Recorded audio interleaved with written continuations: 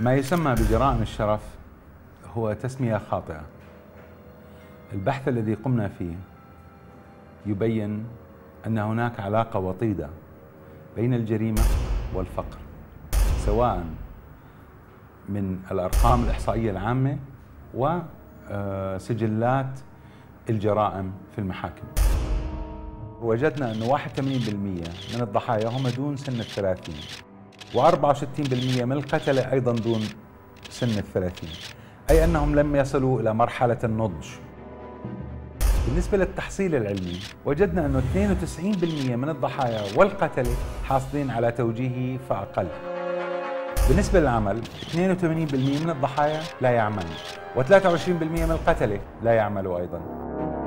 64% من الضحايا دخلهم أقل من 450 دينار شهري.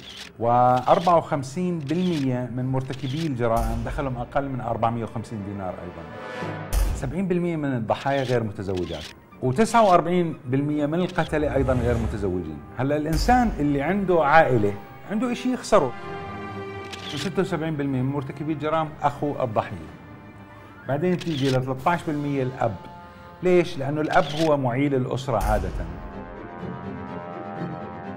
51% من الجرائم تقع في مناطق الوسط.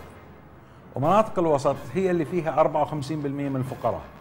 فنجد أنه في غالبية الدول التي تعاني من الفقر وسوء التعليم و و هناك وقوع لهذه الجرائم لكي يضطهد به الرجل المرأة. وكأنه اضطهاده وفقره يريد أن يكون هناك ضحية وهو المرأة.